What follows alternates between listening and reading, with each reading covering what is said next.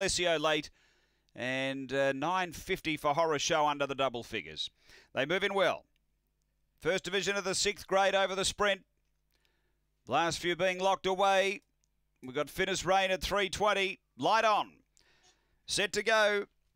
Race six at Angle Park. We're ready to race. Away, patchy start, horror show, slow out, speed out deep. Nippers are pushing hard. McLaren Illusion driving the fence. McLaren Illusion's going to lead. Aston Alessio got to second quickly. The inside is our airman. Uh, they were followed then back to fourth. Nippers are, Finis Rain gets past it. Then Webleck Arrow, horror show and tax deduction off the back. Leader McLaren Illusion, a length and a half on Aston Alessio. Uh, two back to our airman. They turn. McLaren Illusion had the lead. Nicely clear over Aston Alessio. All the way for McLaren Illusion. One by three. Aston Alessio second. Finis Rain third. Then our airmen. They were followed by Nippazar, Tax Deduction, Webleck Arrow, and Horror Show. The run here is around the 29.9 mark. Race six. Too good here, the red. McLaren Illusion. He was able to drive the rail and get the front.